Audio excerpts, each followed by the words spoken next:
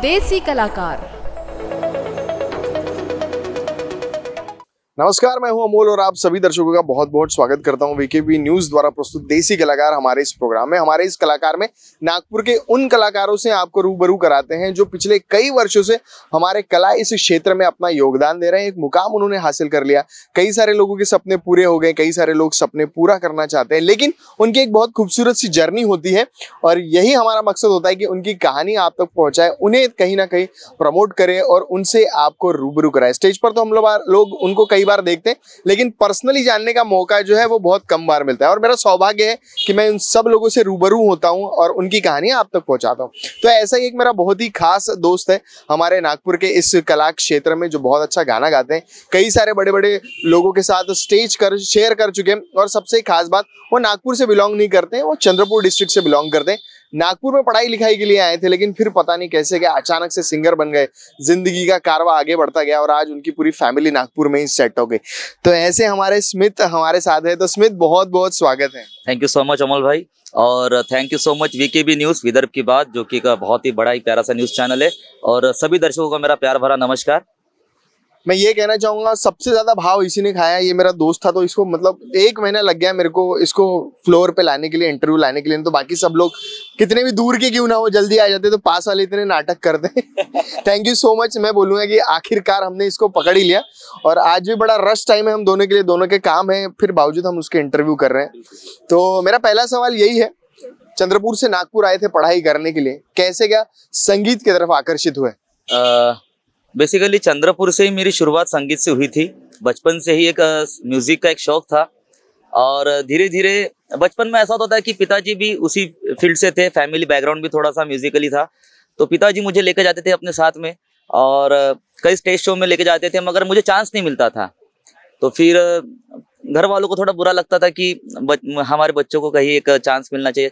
तो पापा के ऑफ़िस में पापा गवर्नमेंट सर्वेंट थे बीएसएनएल में तो उनके ऑफ़िस में ईयरली एक एनुअल फ़ंक्शन होता था।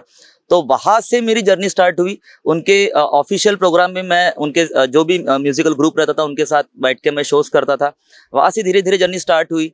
देन उसके बाद जब टेंथ हुआ ट्वेल्थ हुआ फिर ग्रेजुएशन की तरफ़ जब मैं मेरी मेरा पड़ाव चला तो उस दौरान मेरे एक दोस्त है जिनके साथ मेरा काफ़ी गहरा संबंध है, जिनकी वजह से मैं म्यूज़िक फ़ील्ड में आया। ऐसे ही हमारे, मेरे चंद्रपुर से बहुत अच्छे दोस्त थे, मिस्टर अर्जुन सिंह धुन्ना, जिन्हें हम प्यार से सनी भैया करके पुकारते हैं।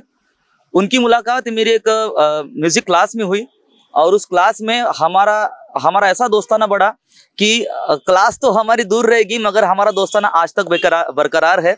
और उन्हीं की वजह से आज मैं एक स्टेज पे खड़ा हूँ तो उन्हीं की वजह से हूँ, क्योंकि उन्होंने मुझे काफ़ी सारा सपोर्ट किया कि तू कर सकता है।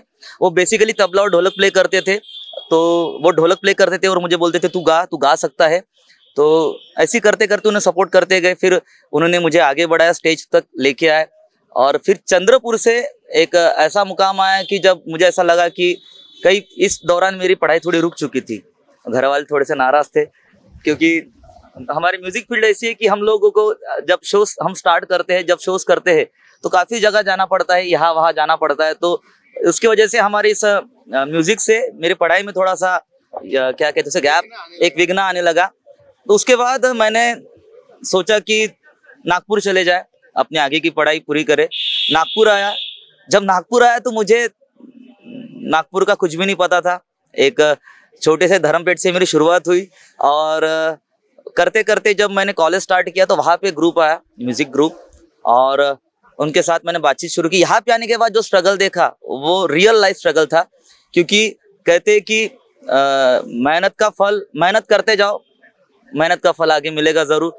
तो वही मैं करते गया, उन लोगों के साथ शोज़ करते गया। तकरीबन, लॉरेंस लुइस करके जो है हमारे नागपुर के बड़ी प्यारे से कलाकार है ऑर्केस्ट्रा म्यूजिकल स्टार उनका एक ग्रुप चलता है। उनके साथ तकरीबन मैंने छः से सात साल मैंने उनके साथ वर्क किया। काफ़ी सारे शोज़ किए। नागपुर से लेके एमपी तक गणपतिज हो मैरिज शोज़ हो उसके बाद बर्थडे शोज़ हो प्राइवेट पार्टीज़ हो और आ, क्या कहते हैं नवरात्र के शोज़ हो एमपी तक गए। उनके साथ काफ़ी सारे दूर दूर जाके हमने शोज़ किए। तो एक जो उनके साथ शोज़ करने का जो एक्सपीरियंस था वो आज कहीं ना कहीं मुझे बहुत काम आता है। तो ऐसी है हमारे स्मिथ की कहानी। मैं कहूँगा कि चंद्रपुर से शुरू हुई और सनी भाई का बहुत धन्यवाद देना चाहोगे तुम कि आज तुम इस मुकाम पे पहुँच गए। नागपुर जब आए तो वो कौन लोग थे जिन्होंने तुम्हारा साथ दिया? और वो कहते हैं ना स्टेबल होने के लिए थोड़ा टाइम लगता है थोड़ा सहारा लगता है। तो वो कौन लोग थे जिन्होंने सहारा दिया? म्यूज़िक फ़ील्ड नागपुर में आने के बाद मुझे ऐसा लगा कि कहीं ना कहीं एक जो आर्टिस्ट के अंदर एक जो वह कहते कीड़ा होता है वो मेरा छुप नहीं पाया। मैं यहाँ से चंद्रपुर जाता शोज़ करने जाता था बट मुझे ऐसा लगा कि मुझे नागपुर में कहीं स्ट्रगल करना चाहिए। तो फिर मैंने काफ़ी सारे लोगों से बात की। बाय सब जानना चाहते हैं। मेरा फेवरेट कलर मेरा फेवरेट डेस्टिनेशन मेरी फेवरेट डिश पर कोई ये नहीं पूछता कि फेवरेट डिश मैं बनाती कैसे हूँ। अरे यार जिसे टेस्टी खाना पसंद है वो अच्छे टेस्ट तक पहुँच ही जाता है। सुरुचि मसाले। खाने में हो रुचि तो घर लाइए सुरुचि। अपने सपनों की उड़ान भरने की इच्छा तो हर किसी की होती है। पर पंख भी तो मज़बूत होने चाहिए। जो देता है flywheel aviation academy flywheel aviation academy एक ऐसा इंस्टीट्यूट है जहाँ पर एयरलाइंस एंड एयरपोर्ट हॉस्पिटैलिटी और टूरिज़्म मैनेजमेंट साथ ही यहाँ campus interview guidance by industry expert practical training at airport expert faculty personal grooming जैसे कई सारे बेनिफिट आप पा सकते हैं। Flywheel aviation academy one degree three job opportunities flywheel aviation academy gives you a degree और diploma with a job flywheel aviation academy 365 Gandhinagar LAD college square beside Karnataka bank Nagpur. तो ऐसा कहना गलत नहीं होगा कि सनी भाई ने आपको चंद्रपुर से नागपुर लाने के लिए प्रेरित किया। शुरुआती दौर में जब हम स्ट्रगल कर रहे होते हैं मैं कहूँगा कि या फिर मेहनत कर रहे होते हैं सीख तो बहुत सारे लोगों का सपोर्ट हमें हो चाहिए होता। तो वो कौन से लोग थे नागपुर में जिन्होंने आपको सपोर्ट की सहारा दिया मैं कहूँगा? जब चंद्रपुर से जर्नी स्टार्ट हुई नागपुर में आया तो डेढ़ से दो साल तो मैं पूरा ब्लैंक था क्योंकि नागपुर मुझे ज़्यादातर पता नहीं था। और आज जो नागपुर मुझे पता है, वो सबसे ज़्यादा शोज़ करने के बाद ही मुझे नागपुर पता चला है। नागपुर की हर एक गली, नागपुर का हर एक चौरा, जहाँ मेरे दोस्त मुझे पोस्टमैन करके बुलाते हैं। क्योंकि जब भी कोई ऑफिशियल जब एग्ज़ाम होती है तो मुझे फ़ोन आता है। आज भी फ़ोन आते हैं कि स्मिथ हमारी एग्ज़ाम है। तो ये सेंटर कहाँ पे मुझे बताओ? तो मुझे पोस्टमैन करके भी हम मेरे दोस्त लोग बुलाते हैं। क्योंकि मेरे साथ हम लोग तकरीबन, मैं धर्मपेट में रहता था तकरीबन हम सात से आठ लोग रहते थे और आज हर कोई अपने अपने क्षेत्र में कोई जॉब कर रहा है कोई बिज़नेस कर रहा है मैं म्यूज़िक फ़ील्ड में हूँ कोई अच्छे अच्छे कोई डॉक्टर बन गए कोई बॉम्बे में सेटल हो गए कोई क्लास वन ऑफिसर्स बन गए। तो जो हमारा जो ग्रुप था हम साथ में रहते थे और उस दौरान मुझे आ, मेरी पढ़ाई जो शुरू थी मैंने ग्रेजुएशन कंप्लीट किया अन्ना साहब त्रिपुड़े कॉलेज से आ, अन्ना साहब गुंडियार कॉलेज से सॉरी और मेरा उसके बाद मैंने मेरा एम बी कंप्लीट किया C P and Berar college से। तो इस दौरान जो मुझे सबसे ज़्यादा सपोर्ट मिला है म्यूज़िक का सपोर्ट मिला है फैमिली से तो सपोर्ट था ही, मगर ज़्यादातर मुझे जो सपोर्ट मिला वो इस म्यूज़िक फ़ील्ड से मिला। रात भर शोज़ करके आते थे मॉर्निंग में एग्ज़ाम देने जाते थे, ऐसा कर करके मैंने अपनी पूरी जो पढ़ाई है वो कंप्लीट की।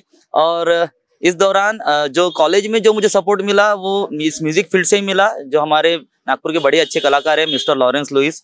इनका बहुत अच्छा ग्रुप है। उनके साथ तकरीबन मैंने छः सात साल जो शोज़ किए, और उनके साथ आज भी बहुत अच्छे रिलेशन है। उनके साथ वर्क करते करते नए नए लोगों से मुलाकात होती गई। जैसे उसके उस दौरान अमोल भाई से ही मुलाकात काफ़ी पुराने हमारे संबंध हम बहुत अच्छे दोस्त थे तो ऐसे लोगों से मुलाकात होती गई होती गई। फिर एक जगह ऐसा लगा कि कहीं एक फ्रीलांस वर्क करना चाहिए, जैसे हमारी इंडस्ट्री में नागपुर में होता है।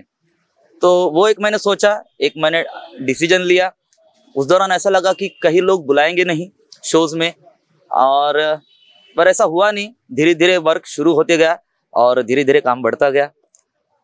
और मैं आज यहाँ तक पहुँच गया। अगला सवाल मेरा ऐसे है बीइंग अ सिंगर जब भी मैं किसी को बुलाता हूँ तो पहले गाना ज़रूर गवाता हूँ लेकिन तुमसे गाना नहीं गवाया। तो मैं चाहता हूँ कि एक बहुत ही बढ़िया सा गाना हमारे सभी वीकेबी के दर्शकों के लिए हो जाए एक। बिल्कुल बिल्कुल। हम्म। ज़्यादातर तो आ, मुझे लोग कहते हैं कि तुम पुराने गाने बहुत अच्छे गाते हो। तो एक सारे दर्शकों के लिए एक बड़ा ही प्यारा सा गीत किशोर कुमार का आप सबके लिए। हम्म, तेरी गली में हाथा सनम नगमा वफा का गाता सनम। तुझसे सुनाना जाता सनम, तूने ओ सनम ढाए है सितम तो ये तू भूल ना जाना, खत्म बस आज ये दहशत होगी। आज रुसवा तेरी गलियों में मोहब्बत होगी। मेरी नजरे तो गिला करती है। तेरे दिल को भी सनम तुझ से शिकायत होगी।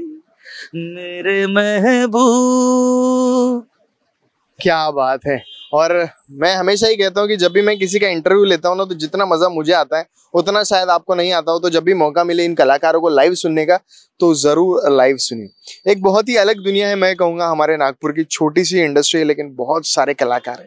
अब तक का एक्सपीरियंस कैसा रहा, अगर मैं पूछूँ तो? काफ़ी अच्छा एक्सपीरियंस रहा है। हर रोज नए नए लोगों से मुलाकात होती है सिंगर से मुलाकात होती है। जो अभी ट्रेंड चल रहा है इवेंट इंडस्ट्री जो हमारे नागपुर में है काफ़ी सारे इवेंट मैनेजर से मुलाकात होती है। काफ़ी सारे लोग हैं जो अच्छा सपोर्ट करते हैं, कहते कि आप अच्छा वर्क कर रहे हो। और इस इवेंट फ़ील्ड में मुझे लाने वाले जो है, नागपुर के हमारे बहुत अच्छे शख्स है, मिस्टर एजाज खान, जो एक बहुत स्टैंड अप कॉमेडियन है, अच्छे सेलिब्रिटी हमारे नागपुर से। उनका बहुत बड़ा योगदान रहा, क्योंकि एक ऑर्केस्ट्रा फ़ील्ड एक अलग होता है और इवेंट इंडस्ट्री एक अलग होती है। तो मेरी एक इच्छा थी, जब मैं लोगों के इवेंट्स जा जाके देखता था कि लाइट्स है ट्रस्ट है अच्छा क्राउड है। मुझे ऐसा लगता है कहीं ना कहीं जाके कि उस प्लेटफॉर्म पे मुझे भी जाके वर्क करना चाहिए।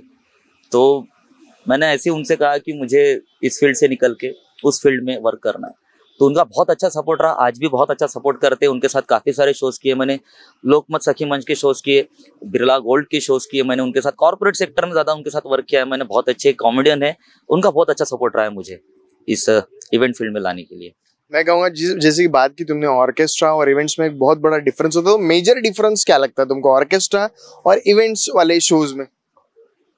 ऑर्केस्ट्रा फील आज भी लोग उसे पसंद करते हैं, मगर जो हमारे मैं दर्शकों से भी ये कहना चाहता हूँ और हमारे जितने भी जो मैं, हमारे साथी कलाकार हैं, उनसे भी कि जो ट्रेंड चलता है, अगर उसके साथ अपडेट होते जाएँगे तो ऑटोमेटिकली वर्क आगे बढ़ते जाएगा। पिछले जो सबको पता है कि पिछले दो सालों में जो कोरोना का जो काल आया उसमें काफ़ी सारे सबसे ज़्यादा अगर जो मुसीबत आई हम कलाकारों पे आई और आर्टिस्ट लोग पे सबसे ज़्यादा आई फिर वो चाहे नागपुर के हो चाहे मुंबई के हो हर तरह के कलाकारों पे सबसे ज़्यादा प्रभाव पड़ा है कोरोना का। तो उस वक्त भी अ, ऐसा था कि हम लोगों ने जो अपडेट लोग थे उन्होंने कुछ ना कुछ वर्क करके जिनमें कुछ अलग से टैलेंट था, कुछ अलग वर्क करते, उन लोगों ने काफ़ी सारे शोज़ किए। मगर जो ऑर्केस्ट्रा फ़ील्ड के लोग थे, जो सिर्फ़ ऑर्केस्ट्रा से ही जुड़े हैं, उनके पास काम नहीं था। आज भी बहुत, ऐसे बहुत सारे आर्टिस्ट हैं नागपुर के, जिनके पास काम ना के बराबर है। तो मेरा वही कहना है कि अगर अपडेट होंगे तो वर्क रहेगा। जैसे ऑर्केस्ट्रा फ़ील्ड होगी, आज भी लोग सुनते हैं, आज भी उसका एक क्राउड है, आज भी उसका एक अलग वर्ग है जो ऑर्केस्ट्रा सुनते हैं। लेकिन आज जिस तरह से ट्रेंड चल रहा है कि इवेंट इंडस्ट्री तो कहीं ना कहीं लोगों का देखने का नज़र एक थोड़ा सा अलग हो गया है, जहाँ क्राउड भी उसका चेंज होता है। तो लोग आजकल, जैसे हमारे नागपुर में two piece band three piece band four piece band चलते हैं। आजकल नए कंसेप्ट आ गए डीजे बेस बैंड भी आ गया। तो लोग इसकी वजह से ऑर्केस्ट्रा फ़ील्ड को थोड़ा सा लोग कम देखते हैं। कोई भी कहता है अगर क्लाइंट भी कहते हैं इवेंट मैनेजर्स भी कहते तो वो कहते हैं कि हमें बैंड चाहिए। और आर्टिस्ट लोग जो है मैं ऐसा नहीं कहता कि आर्टिस्ट लोग बुरे हैं मगर धीरे धीरे अगर हर कोई अपडेट होगा तो सबके पास काम होगा। मैं कहूँगा अपडेट की बात कही स्मिथ ने तो मेजरली तुमने खुद में क्या चेंज लाया है? ऑर्केस्ट्रा से इवेंट्स में जब आए तुम काम तो सेम ही है गाना है लेकिन फिर भी क्या बदलाव खुद में किए? ऑर्केस्ट्रा में ऐसा होता था कि स्टेज पे खड़े होके गाते थे। और एक जैसे स्टैंड पे खड़े, वैसे प्लेटफॉर्म पे खड़े, गाते थे। इंटरेक्शन नहीं होता पाता, हो पाता था लोगों से उतना।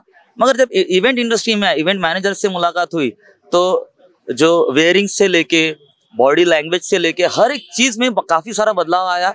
लोगों से बात कैसे करना चाहिए इंटरेक्शन कैसे करना चाहिए। देन उसके बाद अगर डांस नंबर हम गा रहे हैं तो लोगों से इंटरेक्शन कैसा करना चाहिए? लोगों को नचाना कैसा है? ये सबसे ज़्यादा और काफ़ी सारे ऐसे इवेंट मैनेजर्स हैं जिन्होंने काफ़ी सारा सपोर्ट किया कि कहते थे कि स्मिथ तू ये कर सकता है। आज भी वो भरोसा दिखाते स्मिथ तू ये कुछ नया करके देख जैसे हमारे दिनेश हाड़के जी है, राहुल डोंगरवार सर और शोबिस से जैसे इवेंट मैनेजर्स है हमारे शोएब सर। काफ़ी सारे ऐसे इवेंट मैनेजर्स है, उन्होंने जो सपोर्ट किया कि, स्मित, तू कर सकता है, तू कर। तो एक डिफरेंस होता है। कि ऑर्केस्ट्रा में जैसे हम गाते हैं तो, तो एक स्टैंड माइक लेके हम जैसे गा रहे परफॉर्म कर रहे बस उतना है लेकिन जब इवेंट इंडस्ट्री में इवेंट में जब वर्क करते हैं तो सारे क्राउड से लेके सारी चीज़ों से लेके हमें अपडेट रहना होता है। लोगों से इंटरेक्शन करना पड़ता है बात करनी पड़ती है। तो ये सारी चीज़ें मुझे यहाँ पे आके सीखने को ज़्यादा मिली है। अह, कई सारे सिंगर्स को तुम फॉलो करते होगे कई सारे सिंगर्स को भी तुम सुनते होगे। तो कौन से वो सिंगर्स है जिन्हें तुम फॉलो करते हो? जिनको तुम सुनते हो या फिर तुम्हें सुनना पसंद है? और तुम्हारे फेवरेट सिंगर का बाद में अगर कोई गाना हो सके तो वो भी ज़रूर सुना दो। हम्म। वैसे सिंगर्स तो सभी फेवरेट है। ऐसा मैं कह नहीं सकता क्योंकि जब मेरी जर्नी स्टार्ट हुई तो मैं सबसे ज़्यादा अगर ऑर्केस्ट्रा फ़ील्ड की बात करूँ तो सबसे ज़्यादा मैं गाता था मोहम्मद रफी साहब के गाने। और अगर आज आज जो मुझे इवेंट्स मैनेजर हो गए या फिर मुझे जो लोग क्लाइंट जो बुलाते हैं तो मल्टीपर्पज के नाम से मुझे बुलाते हैं क्योंकि मैं ओल्ड सॉन्ग्स भी गा लेता हूँ, मैं न्यू सॉन्ग्स भी गा लेता हूँ, मैं बैंड के शोज़ भी करता हूँ, मैं DJ band DJ bass band का भी अभी हमारा नया नया एक, अभी जो क्रेज चल रहा है तो थर्ड नंबर पे हमारा बैंड है band Hungama DJ bass band आप फॉलो कर सकते हैं उसे, और ये जो नए नए चीज़ें करने में मज़ा आती है, और सबसे ज़्यादा मैं पहले लाइक करता था सोनू निगम जी को तो उनके सबसे ज़्यादा गाने मुझे पसंद है। तो उनका ही फिर कोई गाना सुना दो जो तुम्हारा फेवरेट और जो तुम हर शो में ज़रूर गाते हो तो ऐसा कोई गाना? मैं सबसे ज़्यादा उनका एक बहुत ही एक उनका एल्बम का सॉन्ग है और तुझे लागे ना नज़रिया वो सबसे ज़्यादा मैं गाता था और आज भी जब मौका मिलता है तो ज़रूर मैं उसे गाता हूँ। हम्म, तुझे लागे ना नज़रिया ओढ़ ले चुनरिया तेरी चीन गाह मेरे दिल पे गिरा है रे बिजुरिया बिजुरिया। तेरी चीनी गाह मेरे दिल पे गिरा है रे बिजुरिया बिजुरिया। क्या बात है? मैं ये कहूँगा कि कई सारे बड़े बड़े लोगों के साथ शोज़ करने का मौका मिला हुआ तो सबसे यादगार शो जो है वो कौन सा रहा तुम्हारा? अगर पूछा जाए ये सवाल। अ, मैंने काफ़ी सारे आर्टिस्ट लोगों के साथ काम किया है सेलिब्रिटीज के साथ काम किया है। अ, सारे काम पार्ट 2010 की एक अ, रिनी चंद्रा जी थी। उनके साथ मुझे स्टेज शेयर करने का मौका मिला। देन उसके बाद सुनील पाल जी है the great Indian laughter challenge में थे। उनके पास एक राजा एंड रैंचो करके एक थे जो मंकी के साथ अपना एक्ट प्ले करते। उनके साथ मैंने काफ़ी सारे शोज़ किए हैं। जूनियर आर्टिस्ट के साथ भी मैंने काफ़ी सारे शोज़ किए। देन उसके बाद काफ़ी सारे जैसे अंकुश चौधरी, अभिनय बर्डे, इनके साथ भी मैंने काफ़ी सारे, यानी, मूवी प्रोडक्शंस के वगैरह वर्क किए हैं। तो सबसे ज़्यादा मज़ा रिनी चंद्रा जी के साथ। जब मैंने स्टेज शेयर किया था तो उनके साथ एक बहुत अच्छा मैंने इवेंट किया था। उनके साथ काफ़ी सारा मज़ा आया उनके साथ वर्क करके। और ये कहूँगा कि हर इंसान का ना कोई ना कोई सपना होता है एक मुकाम वो हासिल करना चाहता है। तुम्हारी ज़िंदगी में भी वो कोई ना कोई सपना होगा एक मुकाम हासिल तुम करना चाहते हो तो वो कौन सा सपना है तुम्हारा? अ, जिस तरह से आज लोग अरिजीत सिंह को सुनते हैं जुबिन नोटियाल जी को सुनते हैं एक वक्त ऐसा है कि लोग लोगों के कानों तक लोगों के घरों तक मेरे भी सॉन्ग्स बजे और उस पे भी अभी हाल फ़िलहाल वर्क शुरू है कुछ प्रोजेक्ट शुरू है जिनके जो हम बाद में उसको रिलीज़ करेंगे। तो लोगों तक वो पहुँचे और लोग जैसे यही मुकाम है मेरा यही एक सपना है कि ये इसी को आगे करते करते जितना हो सके जितनी मेहनत हो गई इस म्यूज़िक फ़ील्ड में करते करते लोगों तक मेरे सॉन्ग्स लोगों के घरों तक मेरे सॉन्ग्स पहुँचे। क्या बात है। तो उसके लिए बहुत बहुत शुभकामनाएँ तुम्हें सुमित हमारे वीकेबी न्यूज़ की तरफ़ से और आशा करते हैं कि तुम्हारे सारे सपने जो पूरे हो जाए। आखिरकार तुमने समय निकाला हमारे लिए उसके लिए बहुत बहुत धन्यवाद। Thank you thank you so much thank you तो आज के हमारे इस वीकेबी के देसी कलाकार में बस इतना ही और स्मिथ की कहानी को नज़दीक से जानने की हम लोगों ने कोशिश की। आशा करते हैं प्रोग्राम आप लोगों को पसंद आया होगा। अगर आप भी कलाकार हैं, आपको लगता है आप में हुनर है और अगर आप चाहते हैं कि हम वो लोगों तक पहुँचाए तो आप मुझे ज़रूर डीएम कर सकते हैं। अमोल मंदा, अरुण चंडी के नाम से मैं फेसबुक इंस्टाग्राम दोनों पर अवेलेबल हूँ।